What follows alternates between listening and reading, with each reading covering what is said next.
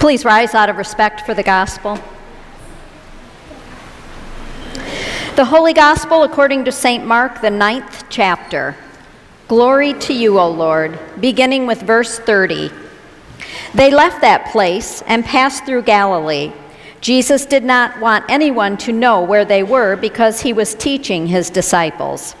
He said to them, The Son of Man is going to be betrayed into the hands of men. They will kill him, and after three days he will rise. But they did not understand what he meant and were afraid to ask him about it. They came to Capernaum. When he was in the house, Jesus asked them, What were you arguing about on the road? But they kept quiet because on the way they had, they had argued about who was the greatest. Sitting down, Jesus called the twelve and said, If anyone wants to be first, he must be the very last and the servant of all. He took a little child and had him stand among them. Taking him in his arms, he said to them, Whoever welcomes one of these little children in my name welcomes me. And whoever welcomes me does not welcome me, but the one that sent me. This is the gospel of our Lord. Praise to you, O Christ. Please be seated.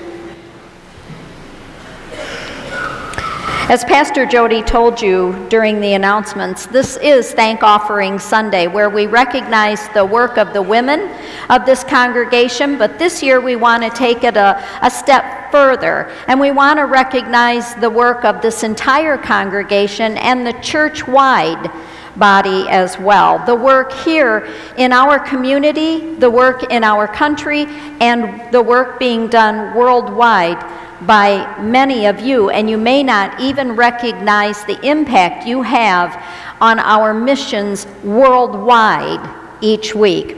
I don't know how often you read the little commentary before the readings, but the commentary before the Mark reading is well worth hearing because it directly talks about being a servant and that's what we'll talk about today.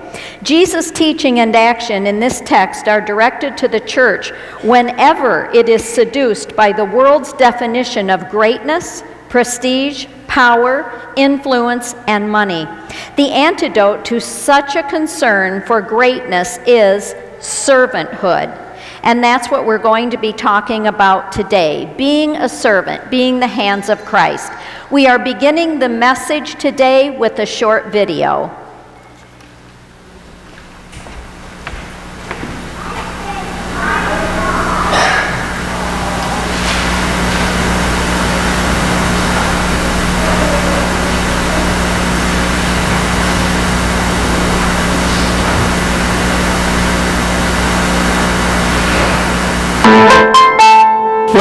Where do the quilts go? What mother will receive this layette? Who will receive this school kit? How far will this health kit travel?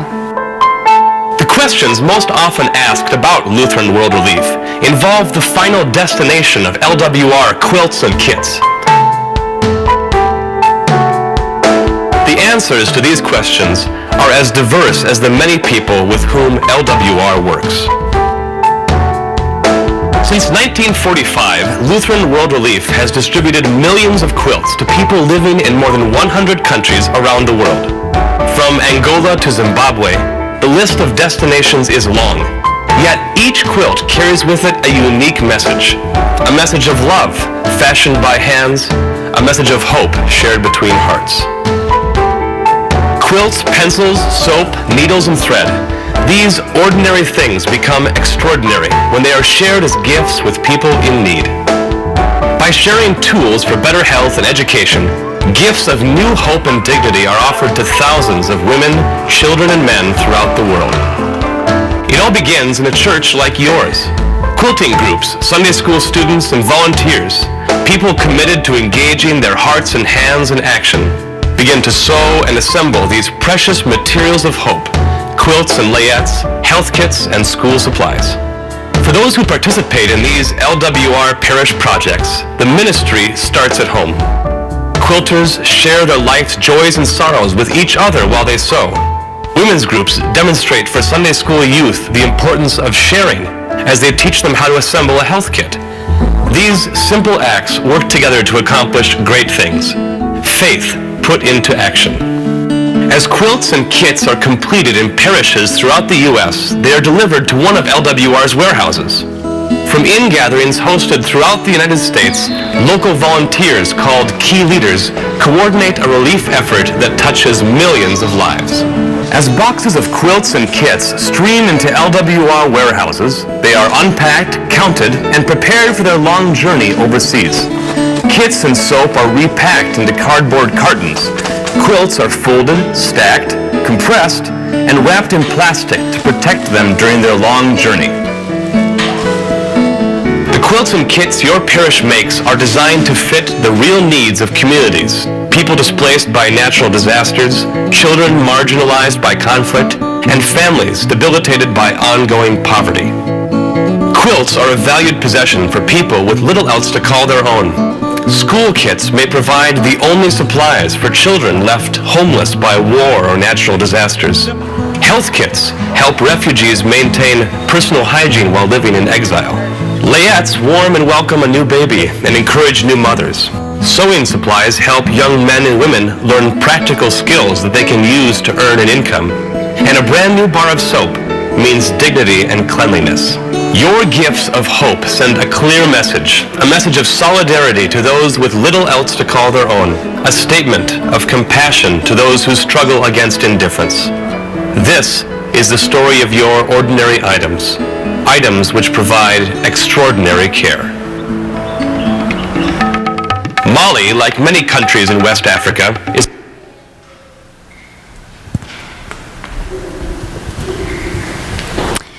I'd like to invite Becky Seibert and Jan Harris to join me this morning.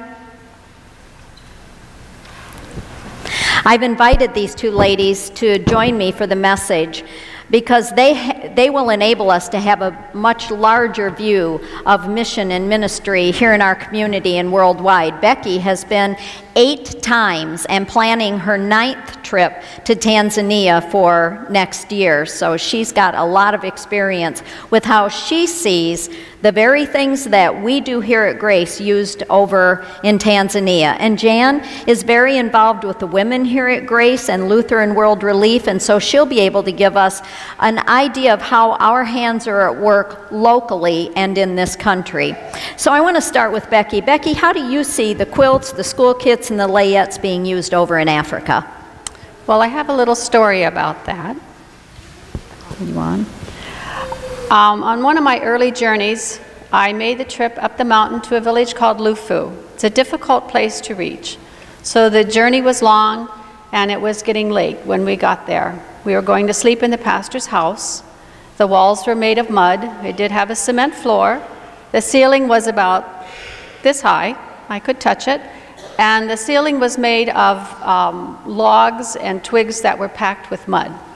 And I'm thinking, oh Lord, please don't let there be snakes up there. Well, I was a little anxious. I turned around, and when I saw the bed that I would be sleeping in, there was a quilt, much like the quilts you see here. And then all of a sudden, I felt fine because I knew the sew ladies had been there. We had a quilt. Also, a little story about the health kits. When we go, we take health kits with us. And because we have so many people come, there's not enough for everyone to receive a whole kit. So the pastors and evangelists take the kits apart so someone receives some, everybody receives one thing. The next day when we went back to the church to finish our cement floor, there was a little boy standing by the side of the church and he had a whole line of little boys with him. I'm thinking, oh, they're up to no good, I'm sure. So I went over to speak with them, and the little boy had a, received a nail clipper. And what he was doing was clipping everybody's nails. So you see, your things are well used, and they are distributed everywhere. And Jan, you have some examples of, of it being used right here. Right. Um, we're um, good supporters of mission here in this church. Um, your donations that you bring in and put them in the doorways wherever um, are assembled and put into the kits that um, are displayed up here and some that Becky talked about. Um, the persons who help on project days have been the persons who put together the quilts that are displayed on the back of your um, pews. and on Monday, tomorrow, we're actually going to have a packing day where we will take all the quilts, that you're seeing here, and we will pack them away in boxes. We'll put together the kits, and they'll put in, be put in boxes too, and they will be prepared for shipping. And then someone from church, a good volunteer, I'm not sure who it'll be this time, but we'll um, take all our boxed items and deliver them to a regional center, and then they will be sent to Lutheran World Relief, where they will be um, put at a um, sorting station and delivered for delivery wherever the need happens to be. So your hands do lots of work that help others. And Jan, didn't you tell me that some of these quilts are even going to the Liberty Center? Right. Every now and then I'll stop by the Liberty Center to see how they are and what kind of needs they have. And they take our quilts periodically, and at this time they've requested 12. And when a resident is finally able to be back on their own, they're, they're able to take the quilt with them. And the persons who work at the Liberty Center say that's very special to those residents when they get to take their blanket with them. So you can see how the work that these women have done all year preparing these quilts benefit not only worldwide, as in Africa, and locally, as at our own Liberty Center, but also in our country as well, because the quilts are also sent to areas that have been victims of natural disaster and used in those places as well. And as Jan said, they're going to be packing these quilts up tomorrow. Your first opportunity to help will be right after the worship service today, because we're going to to need people to help fold them up and take them downstairs. I'll remind you about that at the end of the service. but then tomorrow, they do need help from men and women packing the quilts, and Jan says it takes maybe an hour and a half to two hours. So if you're free tomorrow morning, please come and help them pack the, the quilts up so they can be sent around the world. But Becky, you spend a lot of time in Tanzania. What do you see as the greatest need there? I see, in my opinion, the greatest need not only Tanzania but worldwide is education. Uh, along with the health kits, when they are distributed, the people are educated as to how they use them. Uh, uh, God's Global Barnyard is another example where they're educated how to care for animals. An example of that is the toothpaste. We take toothpaste with us, and if you have never used toothpaste, you don't know what it is. You receive a tube and maybe you think you're to eat it. So education is extremely important. Mm-hmm. Yeah, we take that so for granted, and we don't realize they don't understand the use of something as simple and everyday to us as toothpaste. Jan, did you want to say something about um, education? I think education is very important here also, and we try to educate our whole congregation, including the youth, on um, the needs of others and show the different ways that they can help. Um, we've got our youth involved in several things here, and one of the things that um, I think it's Tricia, maybe Stacy also, they're having the youth make the blankets that you can do without sewing, the ones that are called tie blankets. I think there's one somewhere out in one of the pews, and I know there's one up here by the choir loft um, that the kids have made. And so those blankets also will be packed up and sent to where they are needed, whether it be the Liberty Center or to our Lutheran World Relief. Yeah. So they're being educated too and how we can help others. Yeah, that's wonderful that every generation understands. Becky, I know there are a lot of orphans in Tanzania because of war and HIV AIDS. There are many orphans. What happens to them?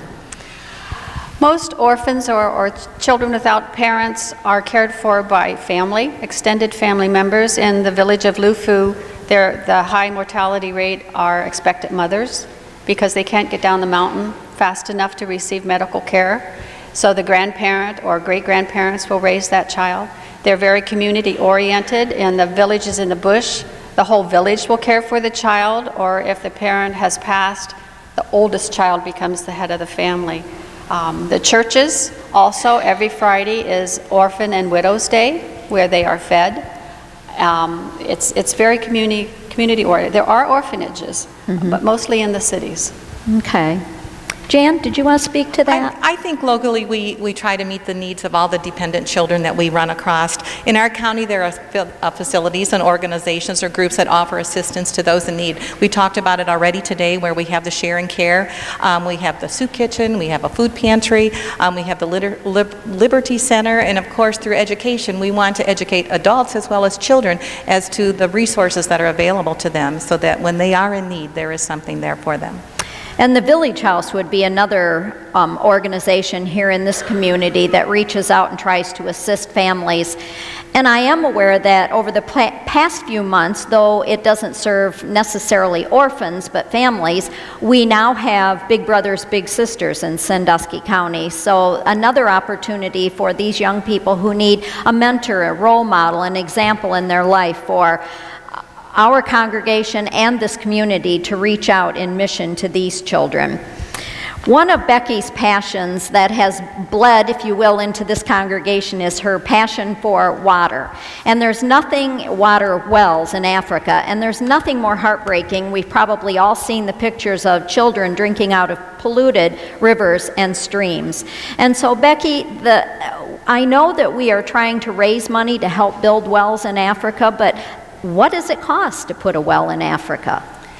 St. Peter's Blackberry, uh, Lutheran Church in Blackberry, raised over $40,000 to drill a well in Malinga. The cost depends a lot on location. Malinga is a remote village. So to get the equipment, the drilling rig, and all of that up there cost a lot of money. ELCA also contributed around $9,000 through their Wells for Water uh, organization. In Emzagoli, another village that I have been in, there is already a well. So to keep that water running, that windmill, it has a windmill now, which breaks. This village, when I first went there, the windmill wasn't working, so they had no water. The children were extremely dirty. They had scabies, they had lice. They were walking a mile to the riverbed and digging for water. When they brought that bucket of water back, if you had a choice, are you going to drink it or are you going to bathe in it? They were drinking it. Drinking. So our, our main focus now is to put a solar pump at that village. That costs about $20,000 because the sunshine's free. Yeah. Yeah, that's you you should know that your missions and outreach committee is very interested in providing more water wells and so we are distributing some of our money in that area also, we are in the process of becoming a companion parish with a congregation in Tanzania. We are moving toward that as part of our Vision 2025 that Pastor Jody has brought us toward more and more.